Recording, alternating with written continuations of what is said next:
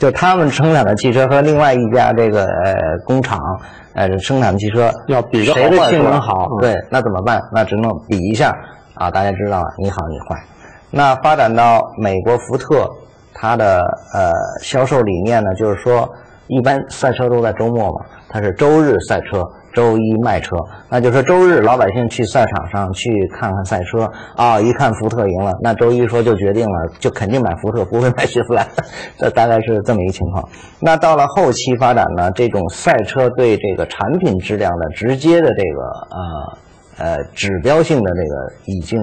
呃慢慢淡化了。为什么呢？因为现在赛车工业的发展跟民用车已经是完全是两个方向了。嗯，它当初是有些东西是可以促进民用车产这个品。新技术当时是优先用在赛车上，然后会会返回到民用市场。那现在由于赛车技术啊，还有安全规则的限制呢，还有技术发展手段的限制呢，民用车的这个很多的这个技术指标比这个赛车还要高。只不过现在是赛车跑得快，它的动力大，油耗高。完全都跟这个环保都已经都不太贴切了，所以说呢，这个 F 一国际汽联也考虑这个问题啊、在比如说 F 一，像今年就已经采用了这种混合动力了，它已经把这个 Curve 系统对引入引入到 F 一了，但是实际上这 Curve 系统没法回到这个民用车。那现在呢，还有一种呢，就是说，比如说我们很熟悉的就是 WRC 里边的福特，呃，它现在用的品牌是福克斯，嗯但是你民用市场上你是买不到四驱福克斯的，它那个四驱版的仅供赛车用。除了这个车身壳子是福克斯形一样之外，此车非彼车。对对对，但是呢，就是您说到这个厂商的参与，我觉得这个在中国的呃势头是很好的。嗯，因为以前除了福特日产之外，很多是这种私人的小车队。嗯，但是现在我们看到起亚呀，甚至包括包括海马、华晨这样的，